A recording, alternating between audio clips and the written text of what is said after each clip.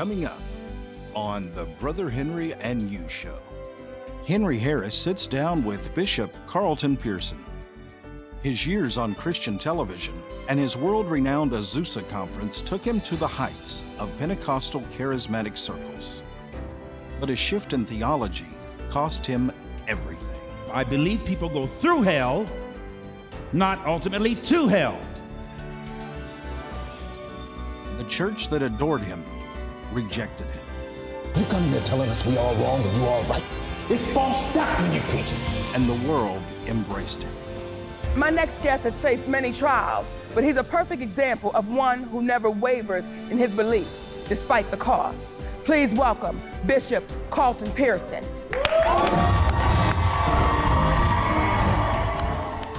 With Netflix even making a movie about his spiritual journey. No People have been saying that I stopped believing in hell. I heard a voice say, Everyone's already saved. No, no, you can't just rewrite the Bible. I'm not rewriting anything, I'm just rereading it. You speak the word of God in this church. That God loves us all. Carlton Pearson. He did not come into the world to condemn the world, but that through him the world might be saved. If he didn't condemn, why do we? That's all I'm saying. From hero to heretic and back again. And it's all coming up next on the Brother Henry and You Show. You're watching the Brother Henry and You Show. Engaging. Informative. Inspirational.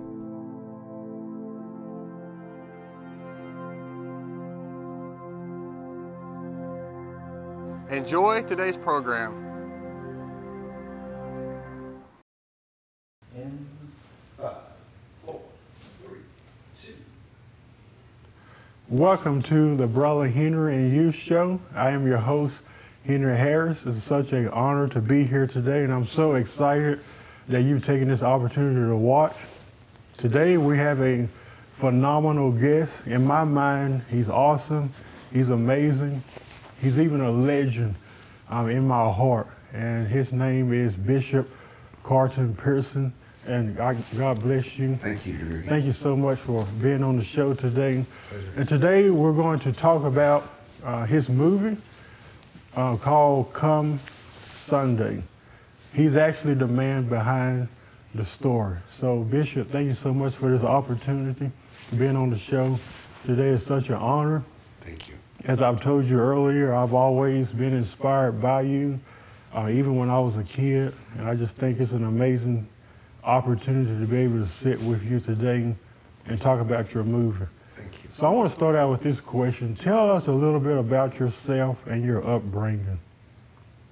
Well, based on what I know about you, my upbringing, first of all, thank you for wanting me on your show and uh, making the, the, trip to come to Tulsa to see me. Mm-hmm.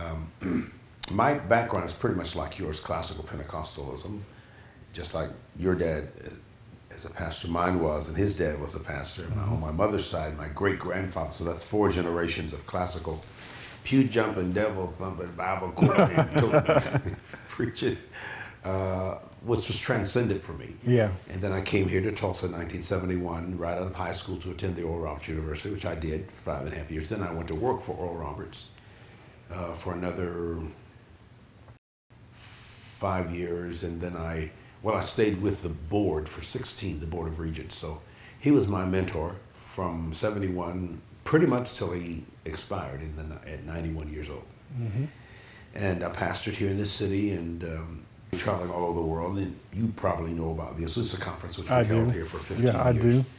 And um, after all that, I had a shift in theological references, and I, uh, I stopped believing that just Christians were saved, but that the whole world, through Christ, had been re- redeemed to God, that all sin and sinners were atoned for in Mm-hmm. the blood. When Jesus said, It is finished, he was saying, My work of redemption, the work of redemption is completed. The Mhm. mission is accomplished. Now, you who believe that, go tell the world. Give them the good news that the bad news is all wrong. Yeah. That any issue that would have been between humanity and God or God and humanity was resolved at the cross with the Christ.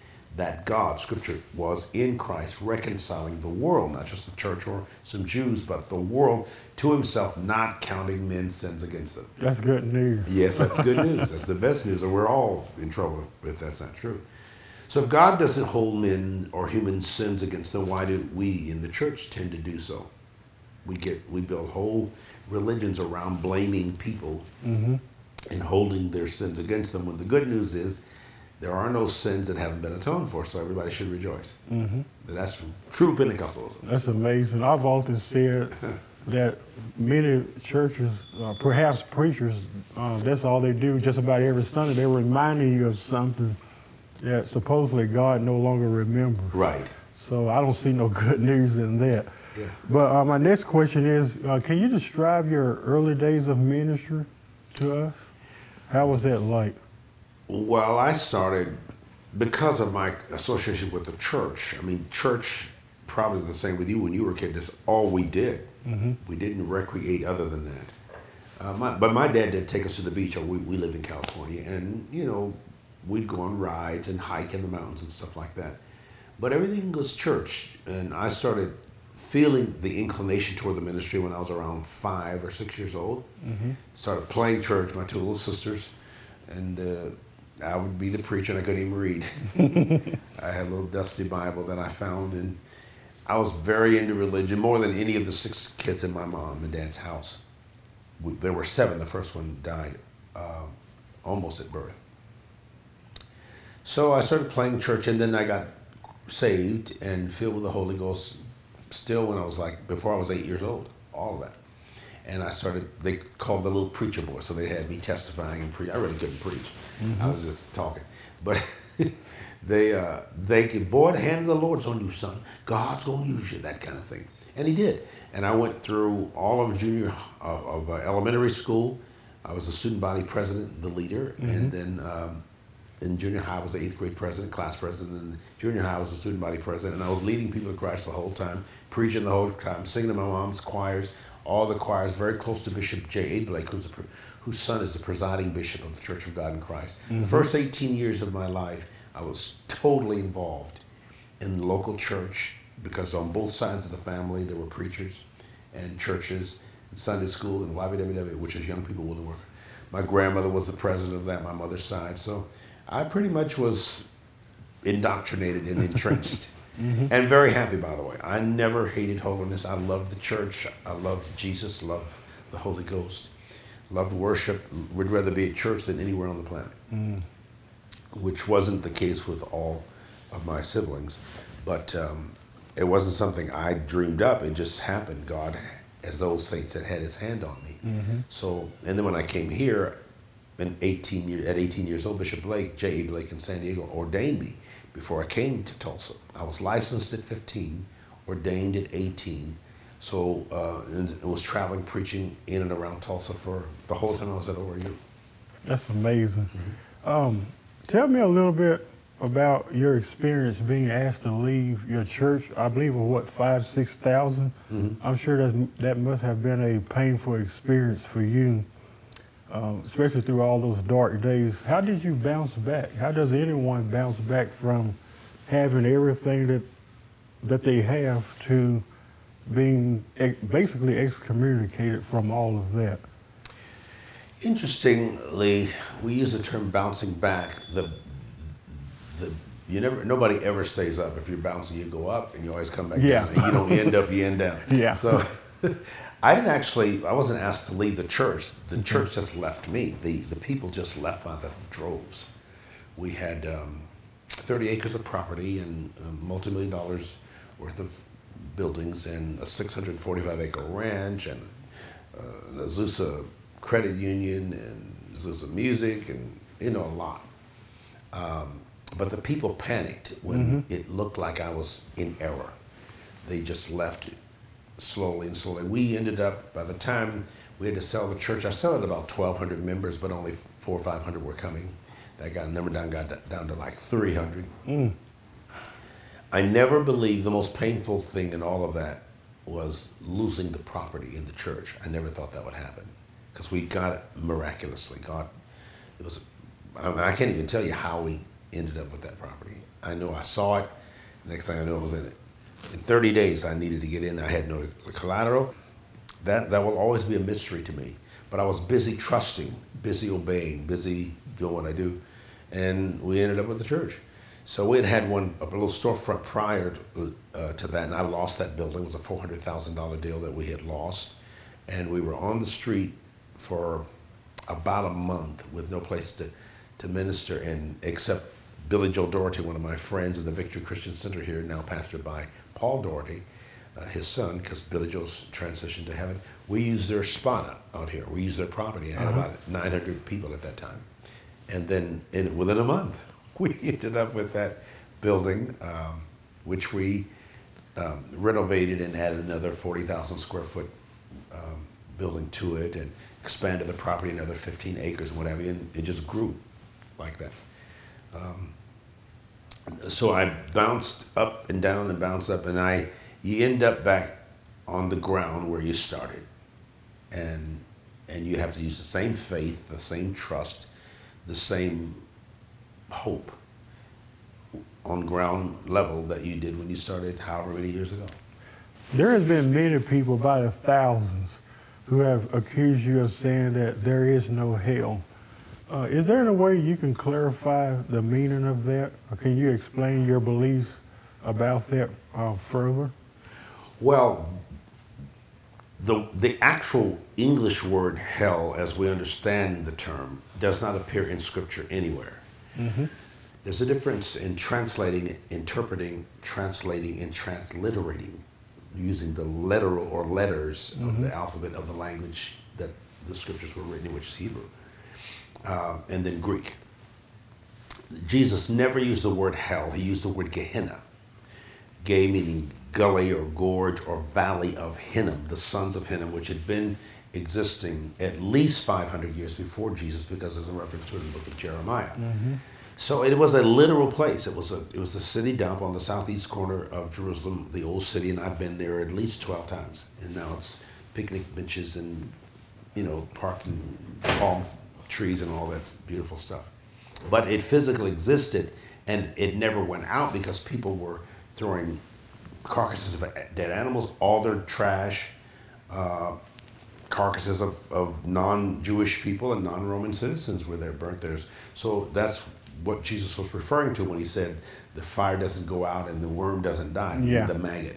Well, now the fire is out and the worm is dead because it hasn't been there for at least 2,000 years. So that place doesn't exist. We have, we have, we have literalized something that he meant metaphorically or metaphysically as being the burning agony of, of being or feeling distant from God Mhm. or away from God. To preach um, a eternal damnation where people are doomed or condemned or damned forever is has grown over the years to become a, a monstrous um, deception Mhm. to a lot of people. Now, when you believed in it, and believers, Mhm. particularly Christians, are so devoted to hell and to a devil or a demon or a legitimate nemesis to an almighty God. Now, remember the term is almighty, Mm-hmm. omniscient, though the Bible doesn't say that, but all knowing, everywhere present, omnipresent, and omnipotent or almighty, all potential, all powerful God. An all powerful God who dwells everywhere and knows everything um, wouldn't be worried about hell It wouldn't even create one. But over the years, fear-based theologies has created this aberration uh, of God and made that God monstrous. And the God of the Bible is monstrous. The Mhm. God of the Bible is mean. The God of the Bible is vengeant. The God of the Bible is jealous. The God of the Bible says, I regret that I made you. I repent. I I don't want you. My spirit's not going to strive with you always because you're human and I don't deal with mortality. Mm-hmm. So that's an arrogant God and a, a condescending God, Narcissist. narcissistic God, very much like Donald Trump. But Yeah. That's a whole other subject. You can edit that wherever you want to. Uh, but that's why so many evangelicals follow Trump. Yeah. Uh, because they, he reminds them of the angry, uh, mean-spirited God of the Bible. And I hate to say I'm a Bible scholar. I mean, Yeah. I, I majored in biblical literature, English Bible, theology, and historical studies was my minor. And I preached out of that Bible for 50 years. I still do. I read it almost or quote it nearly daily, pretty much daily. I don't make any decisions or evaluations without thinking about Scripture, not always intentionally, I just habitually think about it. But I cared enough about it to study it thoroughly, do the research, and found out that the Bible is an important book. I take it seriously, just not always literally. If you're a biblical literalist and the Bible itself says the letter, meaning the literal, Mhm. kills. If you are a literalist, it's dead. But if you're spiritual, you see the metaphors and the metaphysical approach, you see the allegories, you see the figurative in there, you see the Bible suggesting things um, that we have literalized, and it makes it a very difficult book to appreciate. So um, the whole idea of, of um, and, and initially I believed in hell. I just didn't believe anybody would be in it because of the blood, Mhm. because of Jesus. Uh, as in Adam, all men die. Scripture says, so in Christ, all will be made alive. So Buddhists, Hindus, agnostics, atheists all died because of the first Adam. Mhm. Why can that same group all live because of the last Adam? Jesus is called the last Adam. So more, more folks, including believers, have more faith in the first Adam Mhm. and his death sentence to humanity than they do in the last Adam and his life sentence. Mm. So the goodness of, or the gospel is the good news of the life sentence that Jesus gives humanity. And he was wounded for our transgressions. He Mhm. was bruised for our iniquity. The chastisement for our peace or the punishment with God was upon him. Mhm. And by his stripes we are healed. That's Old Testament. Mhm.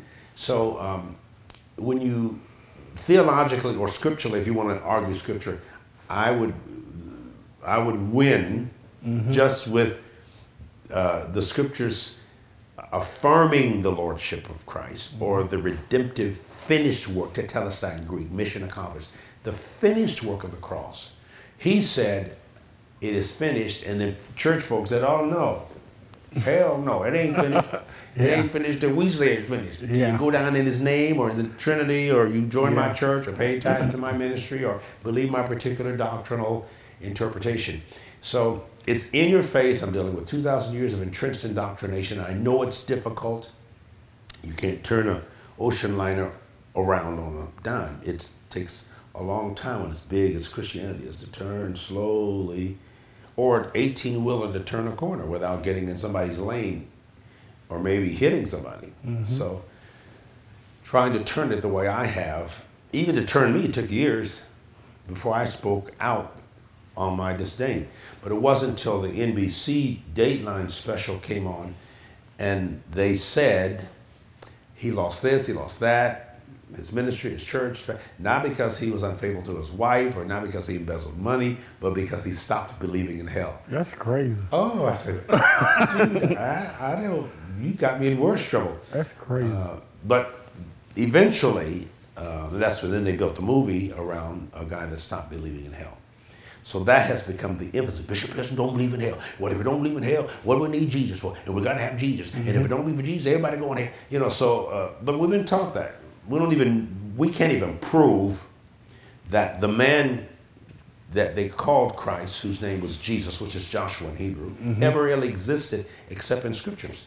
And then the Bible is completely silent on him for 18 years, from age 12 to 30. We don't know where he was, what he was Mhm. doing. There's not even a hint. Mhm. So I'm not saying he didn't exist because I believe in Jesus. I mean, he's my, my Savior, my Lord, my friend, my mentor. When, when you're talking Christian lingo, Yeah. I no longer believe I need to be saved by God from God. Mhm. That's what Christianity really is. Yeah. We need Jesus to protect us from God. Yeah. Uh, but I understand the, the mentality because my dad and his dad and his dad, I mean, we, I get it. Mhm. I just, I'm in that bubble, as you referred to earlier before we're on camera. There was a bubble in there, but I could see, even if it was a little blur, but I could see outside the bubble. I knew I was in a bubble. And I was getting claustrophobic in there.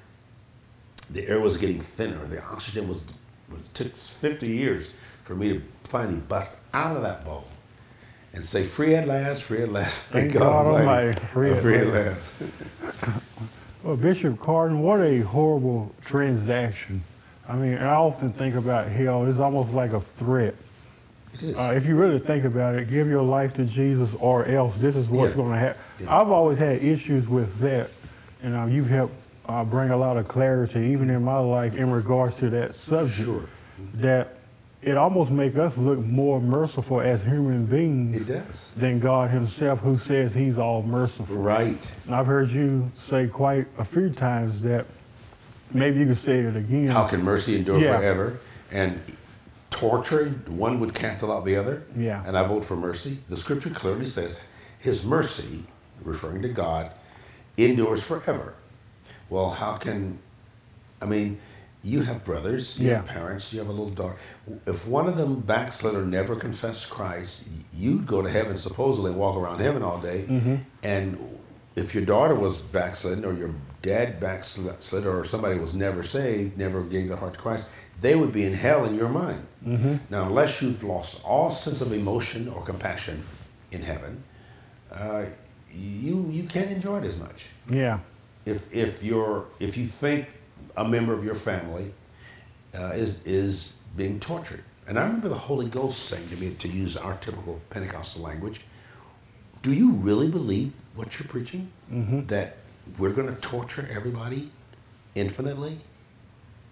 Do you think you're more benevolent than we are? Would you send yours? My son Julian, who's now 25, was crawling around my feet just, and I was so mm-hmm. proud that I had a son. Mm-hmm. That I had been married at 40.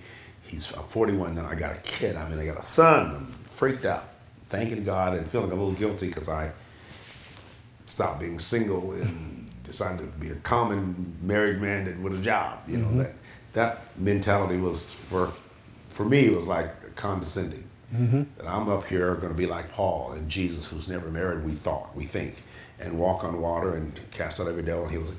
And I was involved in all that. So now my kid's here, and I'm feeling slightly guilty, but also incredibly proud. And I heard God say in my heart, "What could that little boy do to make you send him to hell forever?" Hmm. He said, What could your son do? He said, What could that little boy? And I was almost worshiping that little boy. And I said, without hesitation, not the slightest hesitation, absolutely nothing. Mm-hmm. I could never send my kid to hell. I don't care what he did. I might put him through hell for doing it. Yeah. But I couldn't send him there to, to live forever. And that's when I heard God say, Well, what makes you think we will? Are you more are you more benevolent, more loving, more merciful than than us or me? And I said, Well, of course not. Then why are you telling people what you're telling them? And that really that landed on in my consciousness It's like, bam! Why are you telling people that's not good news? That's not gospel. Mhm. To tell people they're going to hell or that God is mean enough to even send them. That's more like a demon. Yeah. With Hitler, at least the people, after really a few seconds, a few minutes, stopped breathing and stopped burning Mm-hmm. and couldn't feel the pain. But with God, see that the Lord be confirming my word. and but with God, Yeah. it's like you're gonna. T- I could never. I don't know you well enough. I met you this morning, but there's nothing you could do, including burn my house down and, and destroy my kids, which I would kill you first before Yeah. God. But I wouldn't want you to to, to be infinitely tortured because I figure there's something wrong with your mind Mm-hmm. and or that you're just mentally deranged and need help. I'd want to stop you, and I would stop you. Uh, I would die or kill for my children. My mother's in there; she's 90 years old almost. That's just common thinking. But to, I would send none of them anywhere forever. I don't have that capacity to be that angry and unforgiving. Yeah. And I try to make people think, why, what God mm-hmm. would even think of taking a 16 year old kid or a 66 year old man or woman and torturing them forever and way up in heaven, praising God, mm-hmm. when billions of people are weeping, wailing, that, that's, that's obscene, it's absurd, it's obscure. But we bought into it and it has caused a, a global psychosis, a mental illness. And it and out of that mentality comes the Hitlers and the mm-hmm. hatelers or the hurtlers. And there could be one in all of us. So I try to make people just rethink what you believe, why you believe it, how those beliefs add to or subtract from the quality of your life. Why do you think people preach hell? And uh, uh, it's going to be two questions in one. Why do you think people preach hell, and why do you think people hold on to the ideal of hell? Like, why do you think that's one of those subjects that I just can't let go? Well, for the same reason my, my aunt Huckleberry would say, it's in the Bible. The Bible is right. I, you know, the Bible is a corrupted book, mm-hmm. and it took 300 years to canonize it.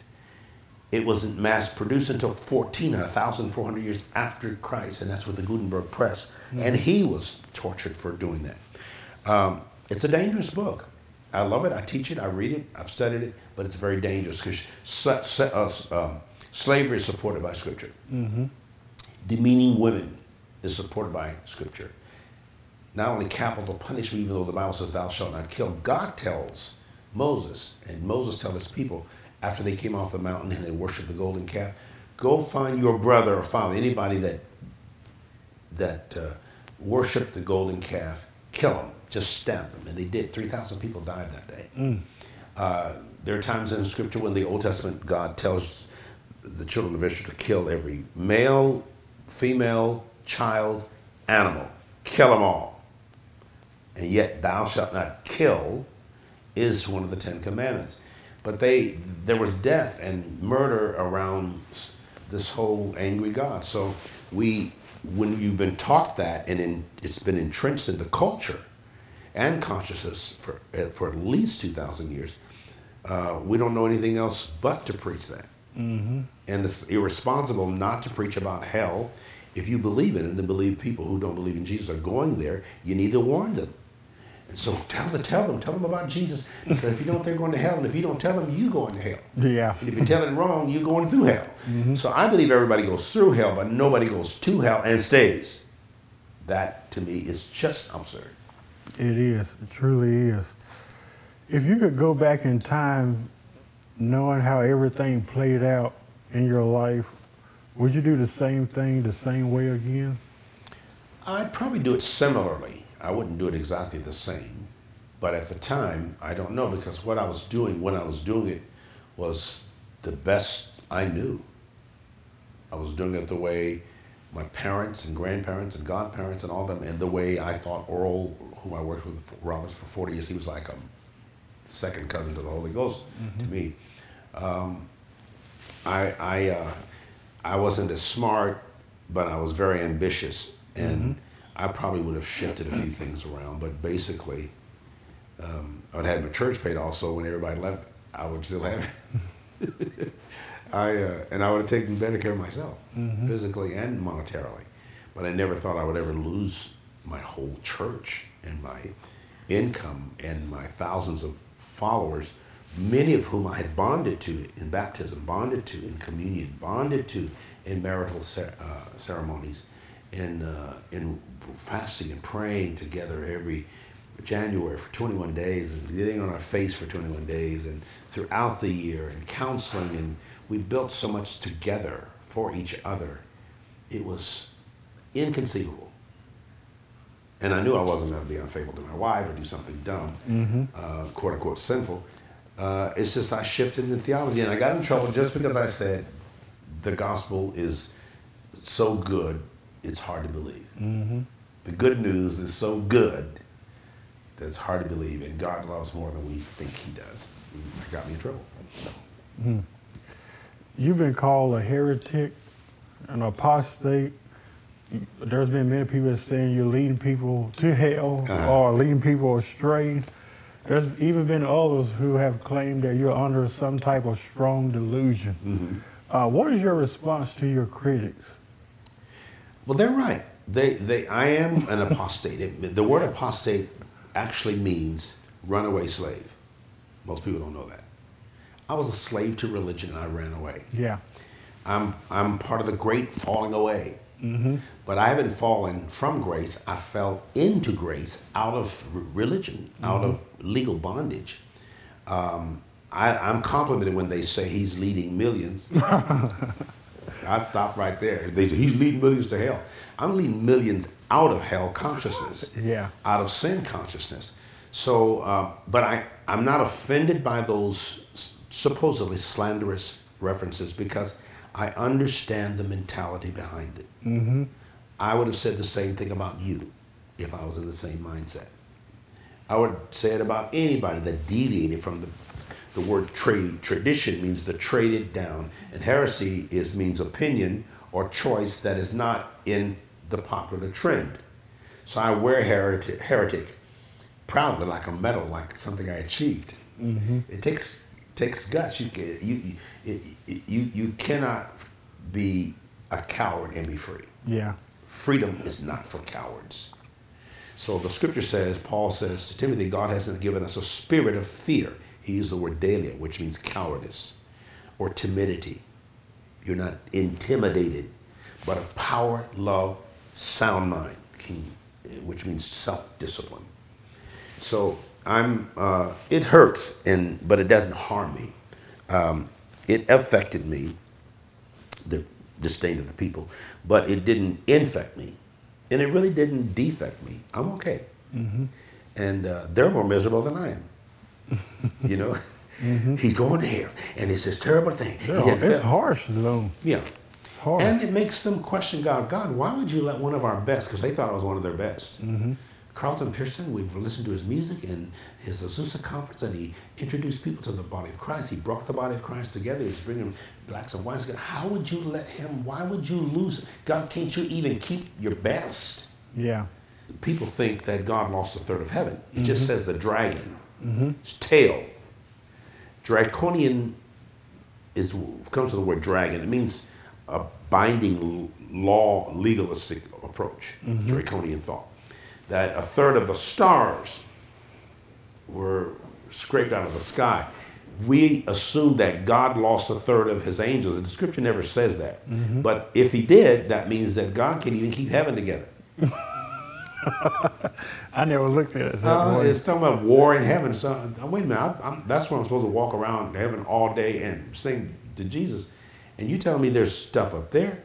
Mm-hmm. If Jesus is sitting at the right hand of God, interceding for the saints, that means even though he said my work is finished and he's gone back to heaven, he's still praying to the God who he's sitting beside Yeah. saying, please take care of them saints. They crazy, they stupid, they backwards, they, they, they're, they're victims.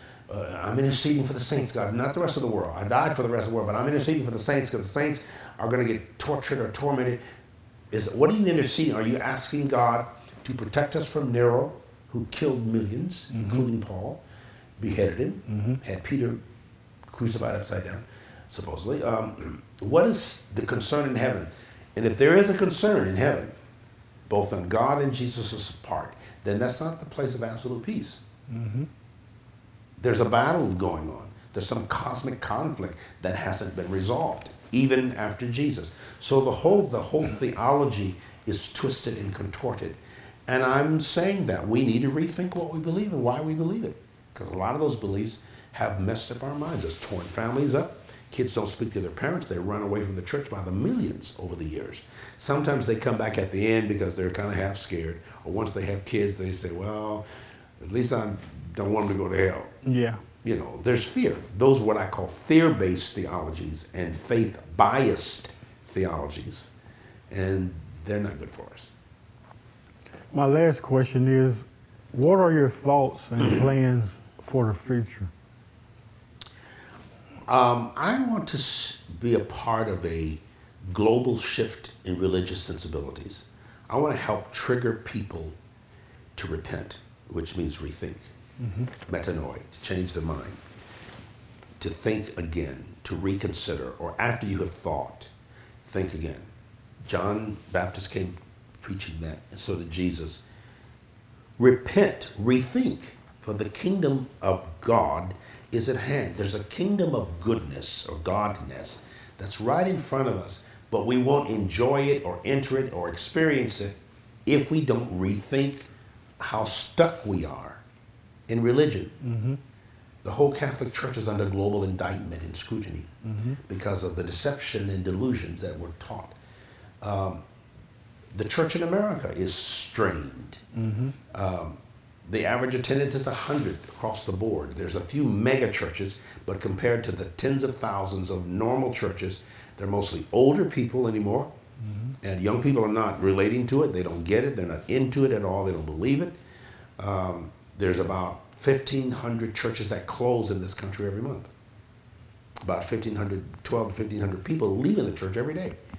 Uh, it's not working. And what really blessed us in the 20th century, Pentecost, uh, Protestantism, it doesn't work as well in the 21st century. I can't tell you all the reasons why, but the flourishing zeal, our country's mentality and consciousness is shifting. Everybody doesn't believe in this God. They don't fear that God. Um, you've got multiracial, multicultural marriages. You've got same gender loving people on television. Uh, you got couples standing there t- pregnant with three kids saying we thinking about getting married, and mm-hmm. it's a, a, movie star or an a- or an athlete or some celebrity. So our kids, yours and mine, and their kids are looking at a world that's different mm-hmm. than the one we grew up in. Mm-hmm. And I'm a lot older than you, so your parent, I'm older than your parents. Yeah. But they would remember a lot of the same things we remember. This is not the same America. This is not the same world. And we need to adjust our message and our ministries, if you're going to have one, to the world in which we live. My phone says iPhone I, and has an iPad in the iCloud and it has an apple on it with a bite out of it. Hmm. They done ate the tree, ate from the tree of the knowledge of good. What's his name? Who started the Apple thing? Steve Jobs. Steve Jobs. He was a Zen Buddhist. But when he died, devastated by cancer, he came to this planet, put that Apple phone and all that those products in our hands, and a billion, billions of people now can see the same thing, hear the same thing, or similar things. Uh, his last three comments when he died is, "Oh wow, oh wow, oh wow." Now I thought he would be screaming and tormented and torturous, tortured because he's going to hell. He was a Zen Buddhist. And he was saying, oh wow, whatever he saw as he exited, those are the last three statements before he, he breathed his last breath. He saw something that was wowing and awe-inspiring, not awful, awesome. Mm-hmm. So that is another proof, uh, an earthly proof that whatever he transitioned to was better than he was, than what he was transitioning out of. So that that that doesn't prove anything except there it may not be hell the way we think. I just don't believe in that that that twisted, contorted concept. It's very destructive to the human consciousness and the human culture. Mhm. And about four billion of the 7.8 on the planet, who are Muslims and Christians and Jews, believe in that God that hates, that'll kill you, cut you, Mm-hmm. torture you. God will get you, boy. God will get you, boy. I heard that all my life. Oh yeah, me too. And the, the devil will get you. The devil get so both of them gonna get us. God gonna get us, and the devil gonna get us. It almost seems like um, at times the devil and God is kind of like Hanging out. co-workers. I know it. It's it's like, for example, if somebody is sick, they're praying to Jesus to get healed, but at the same time, God gave them cancer. Yeah. It's like, Or God, why would I even have to? That'd be like my kids begging me to take care of them, yeah, begging me to protect me to protect them. They Mhm. got to worship me before breakfast every morning. yeah, They got to and lunch and dinner and coming here telling me thank you, Daddy, for this house. Thank you for. I said, boy, if you say thank you one more time, I'm gonna slap you. Get out of my face. You know I love you. Uh-huh. Just tell me you love me every so often, and I'll tell you, you know I love you. But we don't need. You don't need to worship me. I think God would be bothered. A real God, a benevolent God, would be worried with all this constant. Thank you, God. Thank you, thank you. Say, Negro, eat and be glad. Yeah. Get out of my face. Thank me every once in a while if you want to, but don't just. You make me feel like a thing. yeah, And that's I want relationship with you. yeah. I don't thank my mother every time I see her. I kiss her a lot Mhm. and I embrace her, but not all day long. You know, that would make her say, "That's enough, son. I got the point." See, so I think we worry God with some of that stuff. Whatever God is out there, and it's the one in the Bible, you don't worry him. He wants it all. He wants all the praise and all the glory, and he- he's jealous of any other God. And he's, he says, "Vengeance is mine; I will repay." Vindictive. He's vindictive and angry and uh, remorseless and admitted he wanted a divorce from us. So I went out of here. and then he drowned everybody on the planet, except for Noah and his wife and kids. And then Noah comes out of the ark and has some kind of incestuous relationship with his son Mm-hmm. in a drunken stupor. And, and uh, then God gets discouraged again and says, Oh, these, I just cleaned the whole planet up. And this dude comes out of the ark and, and, and messes up again. And so he said, The water didn't work. Next time we're going to burn. We're going to use fire. in, in my mind, it's just not logically. It's just not making sense. No, it ain't supposed to.